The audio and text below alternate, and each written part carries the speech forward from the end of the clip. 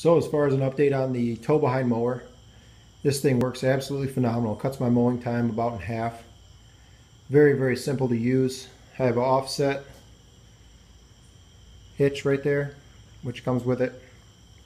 I repainted it, got two new tires, got this motor out of Detroit, running, freshly rebuilt for 40 bucks.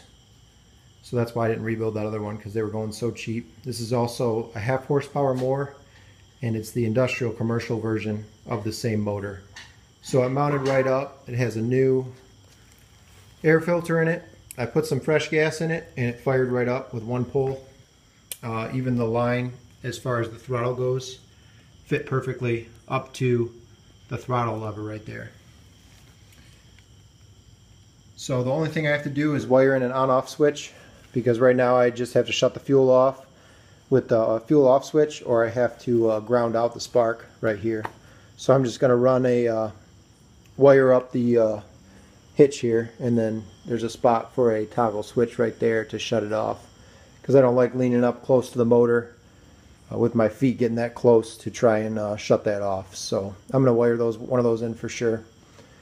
Um, the only parts I had to buy for it, I got the motor for 40 bucks like I said and then I ended up getting a new um, idler pulley, which uh, connects underneath here.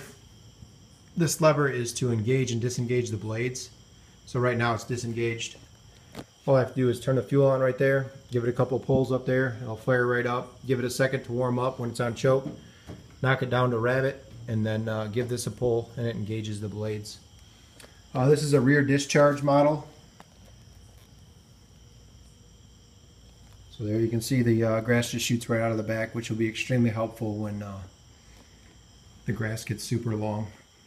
So if you have anything around an acre or so, maybe an acre and a half with not a lot of stuff to get in the way, I have maybe 300 bucks into this total and cut your mowing time in half. So it, it pays for itself real quick. Can get a lot of other projects done in the amount of time that you'd spend cutting the grass. Uh,